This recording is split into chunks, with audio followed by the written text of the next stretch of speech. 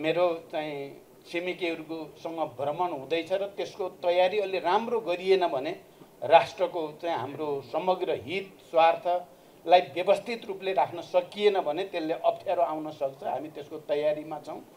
त्यस कारण पनि मैले आज लामो व्याख्या गर्नु आवश्यक र सम्भव भएन। एकता हासिल गर्ने प्रक्रियामा हिजो कहाँनिर त्रुटि भयो। के कमीको कारणले हामीले विचारलाई नेतृत्वलाई हाम्रो कार्यशैली र संस्कारलाई त्यो उचाइमा उठाउन सकेनौँ भन्ने कुराको समीक्षा गरेर अहिले हामी मोर्चाबाट सुरु गरेर छलफल अलि राम्रै गर्दै गएर सकारात्मक वातावरण बनाएर पार्टी एकता गर्ने जस जसको बिचमा अलि बढी मिल्छ तिनीहरू एकता पनि गर्दै जाने कम मिल्नेहरूसँग मोर्चा बनाएर छलफल पनि गर्दै जाने र फेरि कम्युनिस्ट आन्दोलन वामपन्थी आन्दोलनलाई देशको राजनीतिक आन्दोलनको एउटा मुख्य शक्ति बनाउने उद्देश्यबाट चाहिँ हामी विचलित छैनौँ। म माधवजीलाई धन्यवाद भन्न चाहन्छु।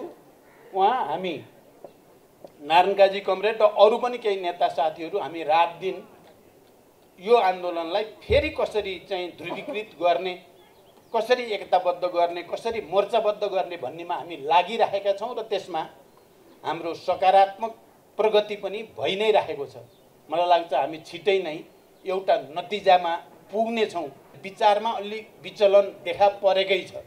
अहिले खालि कम्युनिस्ट आन्दोलनभित्र मात्रै होइन देशको समग्र राजनीतिमा पनि समग्र आर्थिक विकासको चाहिँ प्रक्रियामा पनि विचार सिद्धान्त मूल्य आदर्शबाट विचलनतिर राजनीति जाला कि भन्ने खतरा पैदा भएको छ।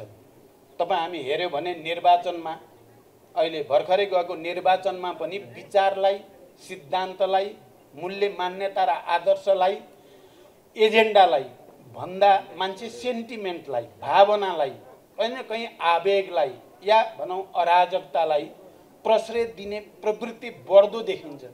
अहिले अब विभिन्न अप्ठ्याराहरूको बिचबाट पनि फेरि एकचोटि कम्युनिस्ट पार्टीको नेतृत्वमा सरकार बन्ने अवस्था बनेको छ। र यसलाई मैले एउटा चुनौतीपूर्ण अवसर भन्ने गरेको छु। यो अवसर पनि हो तर चुनौतीपूर्ण छ। राष्ट्रको एकता र स्वाधीनतालाई अझ बलियो बनाउने चुनौती विभिन्न खालका अप्ठ्याराहरूको बिचमा अर्थतन्त्रमा देखा परेको सङ्कटलाई समाधान गर्ने चुनौती अनि भ्रष्टाचार र विकृति विसङ्गति र अराजकता जो देखिन खोजेको छ इतिहासको चक्कालाई पछि धकेल्न खोज्ने प्रवृत्ति जो देखा पर्न खोजेको त्यसलाई रोक्ने चुनौती धेरै खालका चुनौतीको बिचमा फेरि यो अवसर पनि हो। र हामीले अहिले हाम्रो निर्वाचन प्रणाली हाम्रो संवैधानिक व्यवस्थाले गर्दा एउटै पार्टीले बहुमत ल्याउने स्थिति चाहिँ करिब करिब छैन भने पनि हुन्छ। त्यो असम्भव प्राय नै छ। त्यहाँ गठबन्धन संस्कृतिलाई जगेर्ना गर्नुपर्ने आवश्यकता हाम्रो निर्वाचन प्रणालीसँग हाम्रो संविधानसँग पनि रिलेटेड छ। त्यस कारण हामीले यो गठबन्धनलाई पाँचै वर्ष चलाएर यो गठबन्धनका माध्यमबाट जनतालाई सेवा दिने डेलिभरी दिने चुनौती छ हामीलाई। र हामी त्यतैपट्टि बढी केन्द्रित छौँ।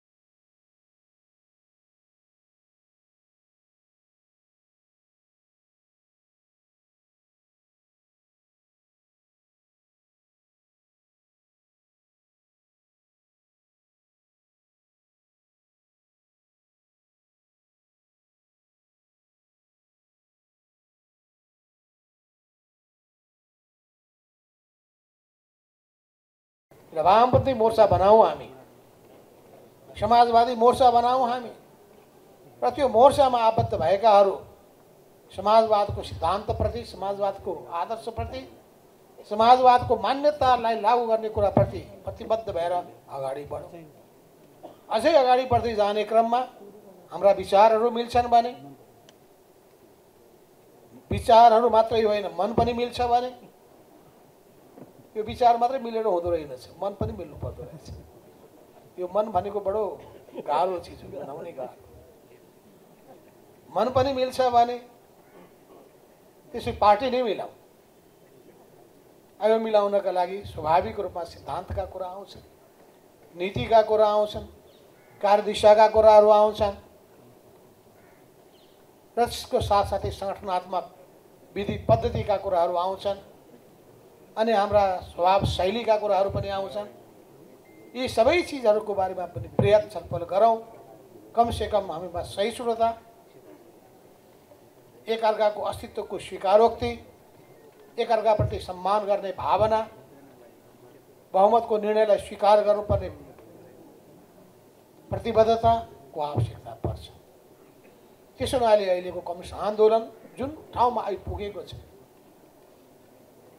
यो ठाउँमा आइपुग्ने कुराको सन्दर्भमा पनि गहिरो हामीले समीक्षा गर्नुपर्ने आवश्यकता छ। अनेकौँ उतार चढावको बावजुद पनि हामीले दुई हजार चौहत्तर सालको निर्वाचनमा जुन सिट संसदमा हासिल गरेका थियौँ जुन हैसियत नेपालको राजनीतिमा प्राप्त गरेका थियौँ त्यो हैसियतबाट धेरै कुराहरू गर्न सकिन्थ्यो समाजवादका कुरा कागजमा होइन। व्यवहारमा हामी देखाउन सक्दथ्यौँ जनताका पीडा र वेदनाका कुराहरू सुन्ने होइन सम्बोधन गर्ने ठाउँमा पुगिसक्ने थियो। सारा जनशक्तिलाई परिचालन गरेर आन्दोलनको खालि राजनीतिक आन्दोलन मात्रै होइन सामाजिक परिवर्तनको आन्दोलनको आदि पेरी सृष्टि गर्न सक्ने थियो। शोषक सामन्त र जाली फटाहरूको जुन हाली मुहाली अहिले पनि छ त्यसका विरुद्धमा हामी नयाँ जागरण अभियान सञ्चालन गर्न सक्ने थियौँ। र जहिले जहिले कुनै पार्टी जनतासँग जोडिँदैन त्यो अलग थलग हुन्छ र कमजोर हुन्छ। जब पार्टीहरू जनतासँग जोडिन्छन् जनताको भावनाको नजिक पुग्छन् त्यसलाई सम्बोधन गर्छन् जनतालाई उत्प्रेरित गर्छन् सचेत र जागरुक बनाउँछन् आन्दोलित गर्छन्। त्यसले तरङ्ग पैदा गर्छ र त्यो पार्टी आकर्षणको केन्द्र बन्छ। त्यसले पार्टीहरू कसरी आकर्षणका केन्द्र बन्छन् कसरी विकर्षणको केन्द्र बन्न पुग्दछन् यी सबै कुराहरूको बारेमा कम्युनिस्ट पार्टी मात्रै होइन। देशमा रहेका पार्टीहरूले सबैले आत्मसमीक्षा गर्नुपर्ने आवश्यकता छ।